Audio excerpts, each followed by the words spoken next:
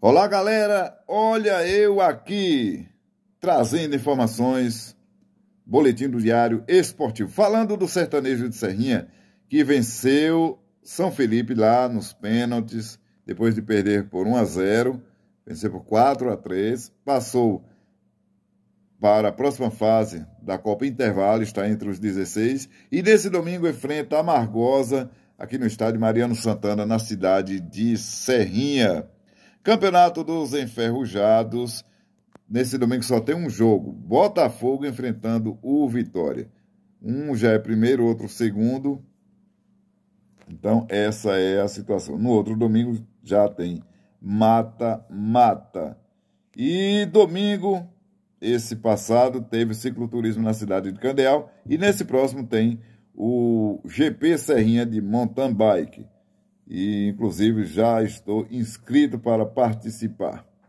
Falando do Esporte Clube Bahia, antes você, eu peço para você acessar o www.civalanjos.com.br, se inscrever também no canal TV Cisal no YouTube. Posso contar com você e ouvir o programa Diário Esportivo de segunda a sexta, das 8 às 9 da noite, na Rádio Continental AM de Serrinha. Após duas derrotas consecutivas, o Bahia ele desencantou e venceu a primeira na Série A. Na noite desta segunda-feira, fora de casa, o tricolor venceu o Vasco da Gama por 1 a 0. Tassiano marcou o único gol da partida. Com o resultado, o esquadrão marcou os primeiros três pontos e subiu para a 15ª colocação. Os comandados de Renato Paiva voltam a campo no próximo domingo, 16 horas, na Arena Fonte Nova para enfrentar o vice-lanterna Coritiba. O Bahia que jogou Marcos Felipe, Canu, David Duarte, Rezende, Jacaré Acevedo, Tassiano, depois Diego Rosa, Cauli, depois Diago Felipe, Matheus Bahia, depois Chaves, Ademir, depois Biel, Everaldo, depois Arthur Salles, técnico, Renato Paiva. Bahia que conseguiu um triunfo importante. Botafogo é o líder com nove pontos, Fortaleza sete, Palmeiras sete, Internacional sete, os quatro aí. Fluminense seis, Cruzeiro seis, Grêmio seis, são Paulo, 4. Vasco, 4 pontos. O décimo é o Atlético Mineiro com 4. Santos tem 4. Bragantino, 4. Flamengo é o décimo terceiro com 3. Atlético do Paraná, 3. Bahia, o décimo quinto com 3. Goiás, 3. Na zona de rebaixamento, Corinthians com 3. Cuiabá e Coritiba com 1. E América Mineiro, zerado na pontuação. Aí, portanto, as informações também do Esporte Clube Bahia.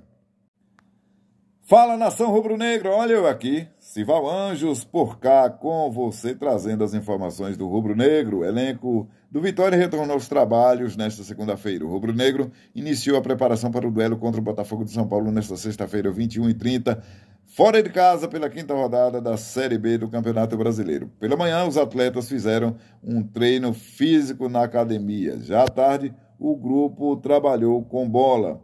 O técnico Léo Condé comandou atividade de finalização, confronto um contra um, posse de bola. Em seguida, o treinador separou laterais, zagueiros e volantes para treinar organização defensiva, saída de bola. Os demais participaram de um joguinho com equipes de sete jogadores cada.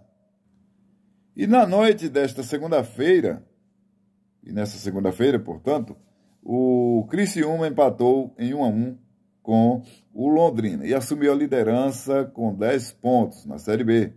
Vitória caiu para segundo com 9, Guarani 9, Botafogo de São Paulo, próximo adversário do Vitória, adversário difícil, também tem 9, é o quarto colocado. Mirassol 6 pontos, Vila Nova 6, Atlético de Goiás 5, Chapecoense 4, Tombense 4, o décimo é Novo Horizontino com 4, aí vem Londrina 4, Ituano 3, Havaí 3, Ceará, que ganhou a primeira em três jogos, três pontos. Esporte, que só tem um jogo até agora, tem um ponto no empate aí. Sampaio Correia, um ponto. Na zona de rebaixamento, Ponte Preta, um Juventude, CRB e ABC, zero ponto. Completando aqui o noticiário, falar aqui também do Bahia de Feira, visando a disputa do Campeonato Brasileiro da Série D, o Bahia de Feira acertou a contratação do volante Tony Galego, ex-juazeirense. Em 2023, o jogador disputou 13 jogos, marcou um gol vestindo a camisa do Nova Venécia do Espírito Santo, sendo vice-campeão capixaba. Esse Nova Venécia é do atacante Richardson da seleção brasileira.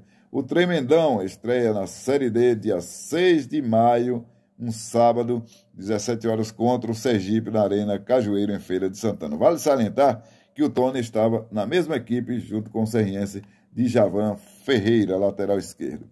Natural da cidade de Valente, Toniel de Araújo Mota começou no Jacobina, acumula passagens por Motoclube, Ferroviário Patrocinense, Vitória do Espírito Santo, Sertãozinho, Jaguará, Real Noroeste, onde ele estava ao lado de Djavan também no ano passado, Juazeirense Nova Venécia. O jogador passou pelo Cancão de Fogo por quatro vezes. A primeira foi em 2016.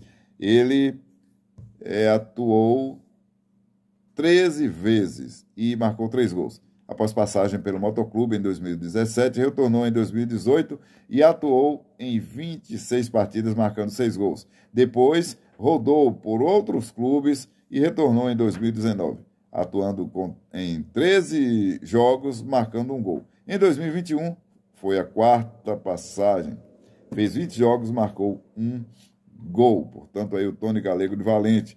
Na Primeira fase da Série D, os 64 clubes são divididos em oito grupos, respeitando e repetindo o formato regionalizado das últimas edições do torneio. As equipes jogarão em partidas de ida e volta, totalizando 14 rodadas. Os quatro melhores colocados de cada chave avançarão para a segunda fase da Série D, no famoso modelo mata-mata. Todos os jogos do campeonato também foram divulgados pela entidade. Acesse www.civalanjos.com.br, se inscreva no nosso canal TV Cisal no YouTube. Todo dia tem boletim do Diário Esportivo. Posso contar com você? Obrigado. E também eu lhe peço que você ouça o programa Diário Esportivo na Rádio Continental AM de Serrinha. Próximo domingo, GP Serrinha de Mountain Bike, dia 7 de maio, na cidade de Serrinha. Estou inscrito. Torça por mim.